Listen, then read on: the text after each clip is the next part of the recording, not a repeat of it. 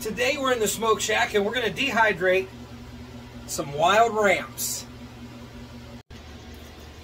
To start with, we're just going to remove these bulbs from the greens, or at least for the most part, and we're going to set those aside. And then we're going to just cut these greens into about one inch strips. And we're going to lay these out so that they can dry as quickly as possible. We want to dehydrate these completely.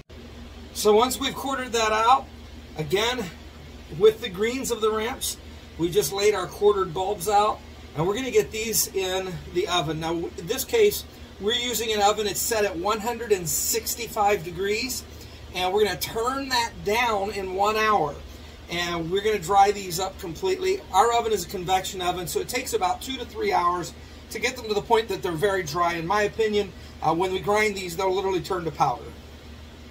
So we're just going to lay these out so that they get as much airflow around them as quickly as possible and remove any of the browning leaves. These were late season harvested ramps. So these, uh, we're just about ready to lay their leaves down and uh, we're going to get these dehydrated.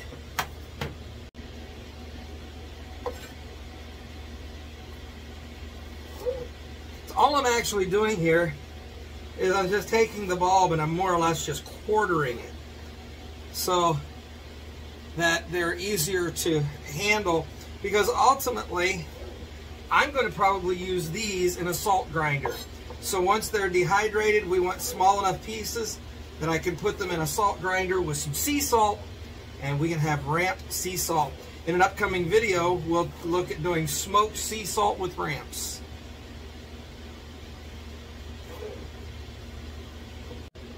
So once we've quartered that out, again, with the greens of the ramps, we just laid our quartered bulbs out and we're going to get these in the oven. Now, in this case, we're using an oven that's set at 165 degrees and we're going to turn that down in one hour and we're going to dry these up completely. Our oven is a convection oven, so it takes about two to three hours to get them to the point that they're very dry. In my opinion, uh, when we grind these, they'll literally turn to powder.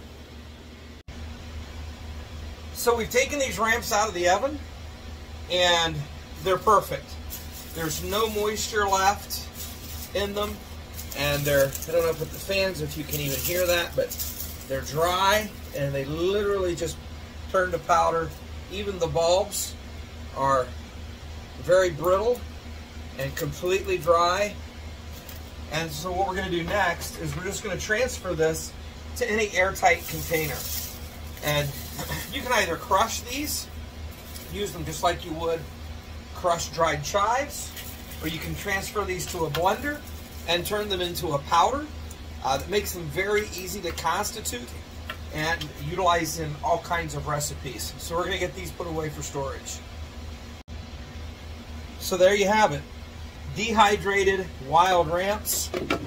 It's just really no uh, more sustainable way to preserve your wild edibles or any of your vegetables and edibles than dehydration. And this is a very sustainable food source that we can put away and use nearly indefinitely.